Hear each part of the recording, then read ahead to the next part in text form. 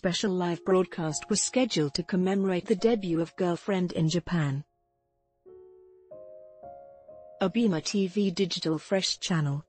K-pop stars broadcasted a special program from today, we at July 23 and they got a hot response. The special live broadcasting arrangements showed Girlfriend popularity in Japan. On this day, Girlfriend introduced about Japanese debut song from today, We in Japanese.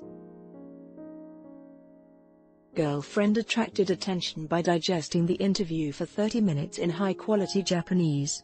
Copyright Copyright 2017 Kpopstars.com. All rights reserved.